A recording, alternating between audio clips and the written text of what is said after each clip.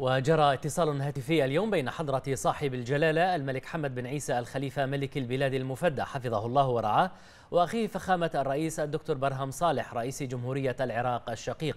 وتم خلال الاتصال تبادل التهاني والتبريكات بمناسبة حلول شهر رمضان الفضيل. مبتهلين إلى المولى القدير أن يعيد هذه المناسبة المباركة على البلدين الشقيقين وشعبيهما باليمن والخير والبركات وعلى الأمتين العربية والإسلامية بالعزة والتقدم والسؤدد.